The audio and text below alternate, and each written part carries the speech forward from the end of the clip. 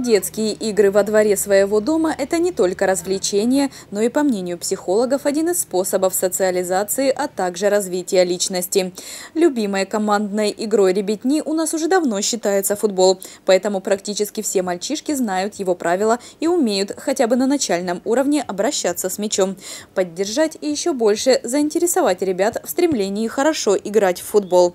С такой целью общественное движение «Донецкая республика» инициировало республиканское республиканский турнир по дворовому футболу на Кубок Дениса Пушилина. Сегодня в Харциске состоялся торжественный старт отборочного этапа соревнований. Сегодня мы открываем первый республиканский турнир на Кубок главы Дениса Владимировича Пушилина по дворовому футболу. А, у нас сегодня собралось 10 команд. Мы приехали тоже поддержать наших молодых спортсменов, начинающих. И, конечно, мы пожелали им, чтобы они заняли первое место, получили кубок. И Харциск прозвучал как самый лучший город. Конечно, мы надеемся, то, что наши дети вырастут таким здоровым молодым поколением. Будем их поддерживать во всех начинаниях. Ходе торжественного открытия турнира его участникам вручили памятные значки. Право первого символического удара по мячу было предоставлено ветерану харцизского футбола, действующему тренеру Дю США Алексею Бахорину. Итак, свисток судьи прозвучал, и 10 дворовых команд, рассредоточившись по футбольным полям, начали борьбу за выход в следующий отборочный тур. У нас три возрастные группы, младшая, средняя, старшая, это 2006-2007 год старшие. 8, 9 средняя группа, 10, 11 и младшая, это младшая группа.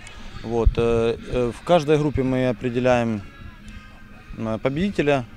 Та команда победителем является, которая набрала больше очков. То есть три команды играют между собой по кругу.